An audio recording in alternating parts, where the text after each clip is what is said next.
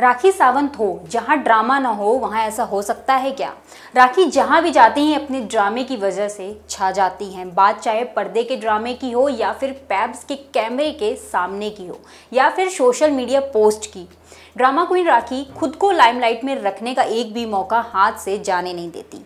ऐसे में अब जो खबर आ रही है, वो सुनकर राखी सावंत के फैंस को झटका लग सकता है। तो चलिए आपको बताते हैं कि पूरा मामला क्या है। नमस्कार, स्वागत है आपका न्यूज़ पोस्ट में। मैं हूँ आपके साथ रोशनी सिंह। राखी सावंत और उनके एक्स हस्बैंड आदिल खान के बीच लंबे समय से कानूनी कार्यवाही चल रही है। आदिल ने कुछ दिन पहले सोशल मीडिया पर दावा किया कि अब राखी को जेल जाना ही पड़ेगा, क्योंकि सुप्रीम कोर्ट ने उन्हें चार हफ़्ते में सरेंडर करने का आदेश दे दिया है। कथित तौर पर सुप्रीम कोर्ट ने राखी से कहा कि उनकी जमानत याचिका पर सुनवाई, उनके सरेंडर करने के बाद ही की जाएगी। बता दें कि राखी इस समय दुबई में है। आदिल ने राखी पर उनके कुछ निजी वीडियो लीक करने का आरोप लगाया।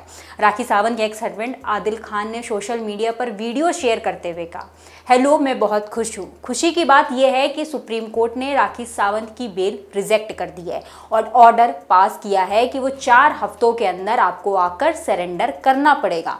तब जाकर आपकी बेल की याचिका सुनी जाएगी। तब तक आपको बेल नहीं मिलेगी। उन्होंने आगे कहा कि आपको जेल अब जाना ही पड़ेगा।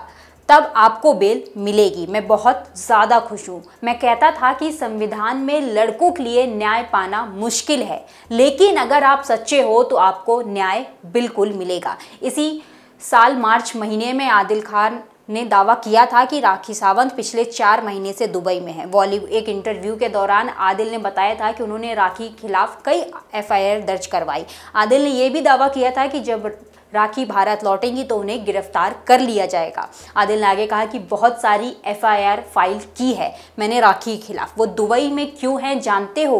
क्योंकि उसके ऊपर जो मैं हमने केस किया है, उसकी वजह से उसको बेल नहीं मिल पा रही है। वो पिछले साढ़े चार महीने से भारत से फरार है। आदिल की पिछली शादी राखी सावंत के साथ हुई थी। फिर इनके रिश्ते में खटास आ गई।